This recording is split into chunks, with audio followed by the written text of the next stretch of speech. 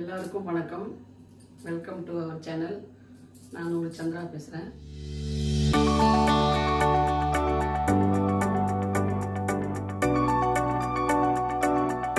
ஆட்டுக்கால் பாயா செய்ய போகிறோம் அது தேவையானது வந்து ஒரு ஆட்டுக்கால்.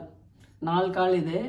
நல்லா மஞ்சள் தூள் போட்டு க்ளீனாக சுடுதண்ணியில் போட்டு நல்லா கழுவி க்ளீன் பண்ணி வச்சிட்ருக்குறோம் அதுக்கு சின்ன வெங்காயம் ஒரு பத்து. அது நல்லா இடிக்கல்ல போட்டு தட்டி வச்சிட்ருக்குறோம். பூண்டு ஒரு பத்து பல் அதுவும் தட்டி வச்சுருக்குறோம். இஞ்சி ஒரு சின்ன பீஸு தக்காளி ஒன்று இது போட்டு வேக வச்சுக்கலாம். ஒரு குக்கர் வச்சுக்கலாம்.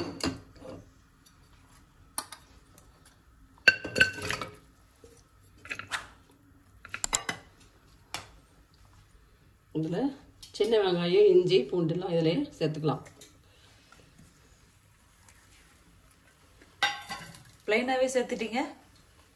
அது அப்படியே வெந்துடும் இப்படி தான் சேர்க்கணும். ஆயில் எல்லாம் போடுறது இல்லையா? ஆயில் லாஸ்ட்டாக தாளிப்பில் போட்டுக்கலாம் இதில் வந்து பாதி மட்டும் போட்டுக்கலாம். அவ்வளோதான் இப்போ மஞ்சள் தூள் போட்டுக்கலாம்.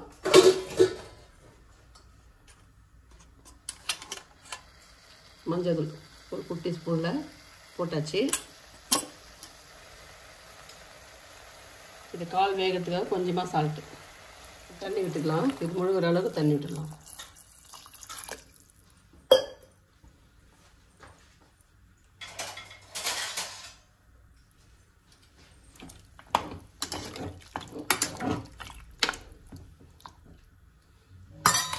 இது வேகட்டும். மூடி போட்டு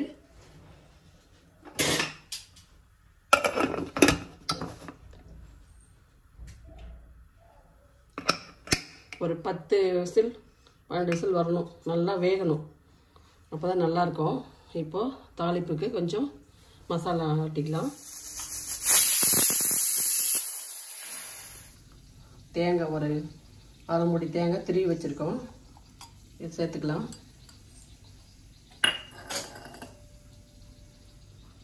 இது முந்திரி ஒரு எட்டு முந்திரி ஊற வச்சுருக்கோம். ஒரு ஆஃப் அன் ஹவருக்கு முன்னே ஊற வச்சிடணும்.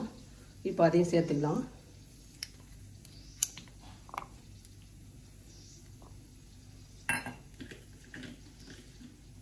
பச்சை மிளகாய் வந்து ஒரு சின்ன சின்னதாக ஒரு அஞ்சு எடுத்துருக்கணும். இதுதான் காரத்துக்கு. நம்ம வந்து மிளகாய் தூள் போடுறதில்ல.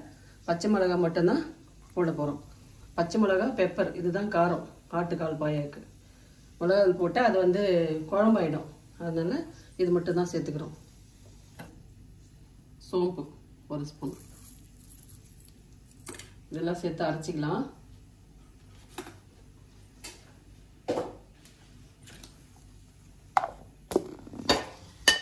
குக்கர் வச்சுக்கலாம். சூடு ஏறினதும் ஆயில் விட்டுக்கலாம் நல்லெண்ணெய் விட்டுக்கலாம். கொஞ்சமாக விட்டுக்கலாம். ஏன்னா அதுலேயும் வந்து ஆட்டுக்காலும் போது நம்ம கொஞ்சம் குறைவாக தான் ஆயில் போட்டுக்கணும். அதனால் கொஞ்சமாக விட்டுக்கிறேன் ஒரு பட்டை ரெண்டு லவங்கம் போட்டிருக்கோம். ஒரே ஒரு ஏலக்காய் போட்டிருக்கோம். இப்போது ரெண்டு பெரிய வெங்காயம் கட் பண்ணி வச்சுருக்கிறேன். பொடியே கட் பண்ண வெங்காயம் ரெண்டும் சேர்த்துக்கலாம்.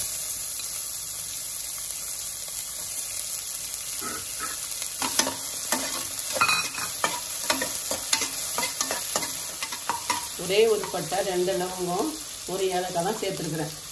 அது எதனாலன்னா மைல்டாக இருக்கணும். அந்த வாசனை வந்து மைல்டாக இருக்கணும் மசாலா. இது மட்டன் குழம்புனா மட்டும்தான் நிறைய வந்து நம்ம பட்டை லவங்கம்லாம் சேர்க்கணும்.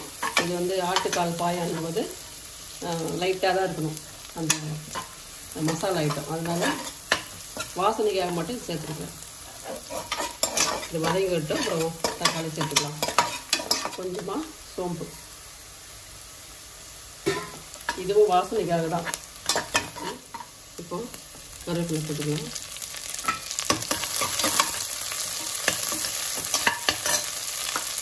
தக்காளி ஒரு பாதி தக்காளி. ஒரு தக்காளி தான் போட்டுக்கிறோம். ஒரு தக்காளியில் பாதி வந்து இந்த ஆட்டுக்காலில் வேகும் போது போட்டாச்சு. இதில் தாளிப்பில் பாதி தக்காளி. பெருசாக ஒரே ஒரு தக்காளி தான் போட்டுக்கிறோம். சின்னதாக இருந்தால் நான் ரெண்டு சேர்த்துக்கலாம்.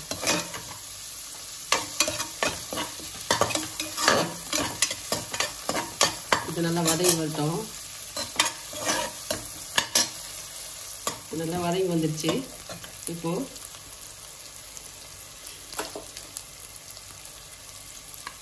சீரக பொடி ஒரு அரை ஸ்பூன் போட்டுக்கலாம். மிளகு பொடி ஒரு அரை ஸ்பூன் காரத்துக்காக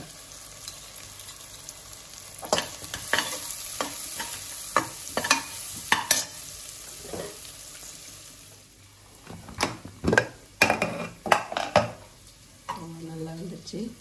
இப்போ ஆட்டுக்காலில் இருக்கிற அந்த மஜ்ஜின்னு சொல்லுவாங்க இல்லையா? அதுவே வந்து எப்படி தெரியுது பாருங்க இதில்?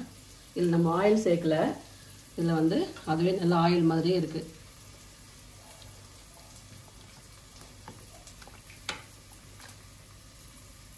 நல்லா வெந்துடுச்சு.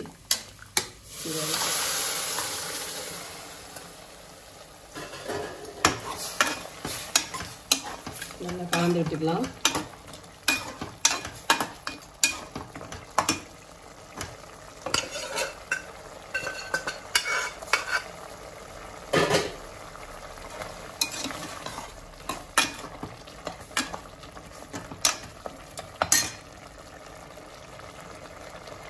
இதில் அரைச்ச மசாலாவை சேர்த்துக்கலாம்.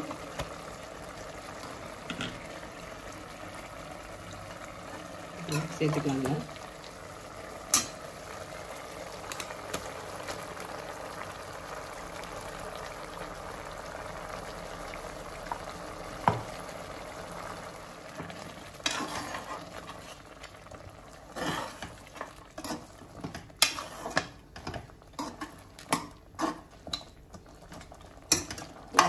கொஞ்சம் இன்னும் கொஞ்சம் சால்ட்டு சேர்த்துக்கலாம். டேஸ்ட்டு பார்த்துட்டு நம்ம என்ன ஆட்டுக்கால் வேகும் போதே சால்ட்டு போட்டுக்கிறோம்.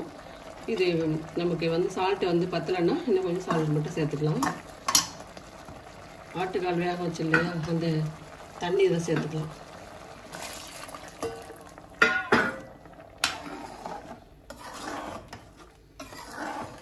கலந்து விட்டுக்கலாம். இது முந்திரி பூ சேர்த்துருக்குறோம். அதெல்லாம் டேஸ்ட்டுக்காக தான் வந்து முந்திரி சேர்க்கறது. அதுக்கு புதினா கொஞ்சம் போட்டுக்கலாம். இது வாசனைக்காக போட்டால் நல்லாயிருக்கும் நல்லா டேஸ்ட்டும் நல்லாயிருக்கும் அதனால் புதினா கொத்தமல்லி.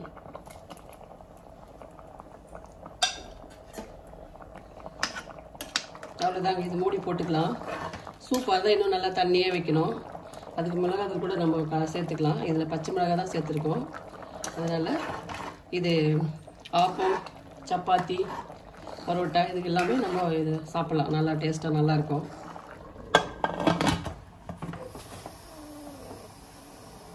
வெயிட் போட்டுக்கலாம் ஒரு மூணு நாலு விசில் விட்டுடலாங்க. அப்புறம் எடுத்துக்கலாம்.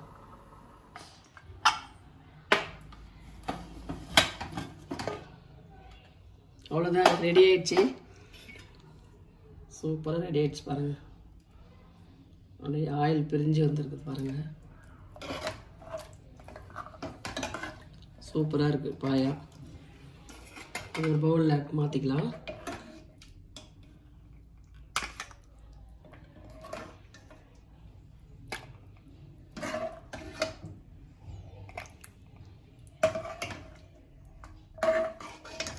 சுவையான ஆட்டுக்கால் பாயம் ரெடி ஆயிடுச்சு.